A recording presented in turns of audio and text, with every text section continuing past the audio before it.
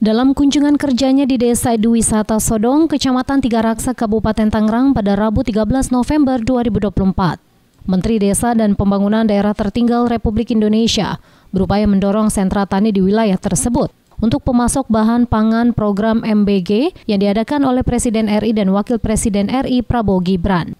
Kedatangan Mendes PDTRI di desa tersebut disambut hangat oleh penjabat Bupati Tangerang Andi Oni dan sejumlah masyarakat dengan memberikan topi rajut dari anyaman bambu. Dalam kesempatan ini, Menteri Desa dan Pembangunan Daerah Tertinggal Republik Indonesia Yandri Susanto juga menandatangani dan meresmikan Desa Sodong sebagai proyek percontohan pembangunan agrowisata dalam upaya peningkatan kemandirian kedaulatan pangan. Bahkan wilayah desa wisata ini juga akan didorong sebagai wilayah yang nantinya akan memasok bahan pangan untuk program makan bergizi gratis atau MBG.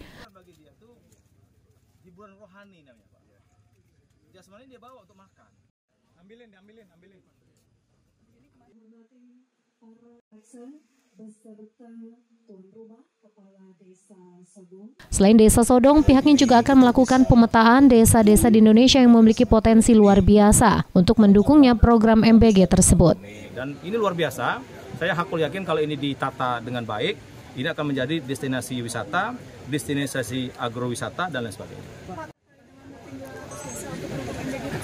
Iya gini, jadi misalkan kecamatan ini berapa desa? Oh berapa desa misalkan untuk lumbung padi, mungkin berapa desa untuk perikanannya atau untuk palawijanya bisa cabai bisa kacang-kacangan bisa itu. Jadi di mapping aja. Jangan sampai nanti ketika makan siang bergizi itu semua misalkan nanam tomat semua. Loh, orang ngamuk kalau cuma dikasih tomat doang kan? Dan uh, bisa terjadi inflasi. Tapi kalau misalkan ditata plot ini tomat plot ini timun plot ini cabai jadi dia saling substitusi nanti saling melengkapi. Dan e, tidak akan terjadi tumpukan produksi. Nah ini mungkin saya minta itu di mapping sehingga nanti masing-masing desa itu punya keunggulan, punya keunggulan untuk menyambut e, menyediakan bahan baku makan siang bergizi. Yandri mengatakan bahwa untuk menjalani program pengembangan agrowisata potensi desa ini, pihaknya juga akan meminta kepada seluruh elemen masyarakat, pemerintah, dan swasta agar mendukung segala gerakan serta pengembangan desa tersebut.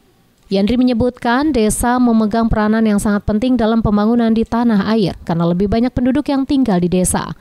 Oleh karena itu, segala upaya dalam mengembangkan potensi wilayah termasuk membangun agrowisata desa harus dapat diwujudkan sebagai pemasok bahan pangan yang dikonsumsi dalam program yang diinisiasi oleh Presiden Prabowo Subianto dan Wakil Presiden Gibran Raka Buming Raka, yaitu program Makan Bergizi Gratis atau MBG.